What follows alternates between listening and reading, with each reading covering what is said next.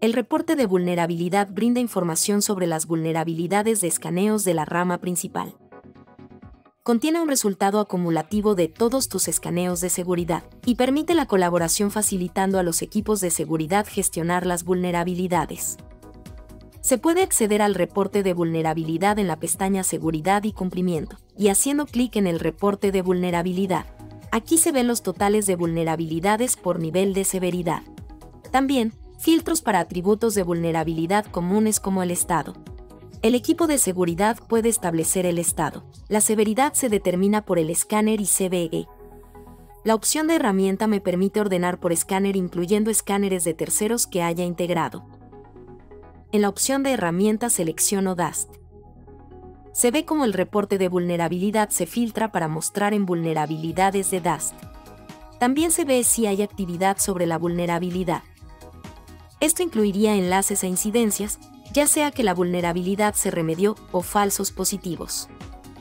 Al hacer clic en una vulnerabilidad de la lista, llegamos a una página con detalles avanzados sobre la vulnerabilidad tenemos una descripción, así como también enlaces e identificadores con más información sobre la vulnerabilidad. Podemos ver la solicitud enviada, la respuesta y una solución.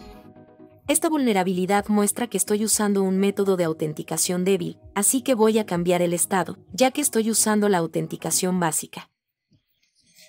Confirmaré esta vulnerabilidad y avisaré al equipo de seguridad al cambiar el estado. Ahora, cuando bajo, se ve que cambié el estado de vulnerabilidad.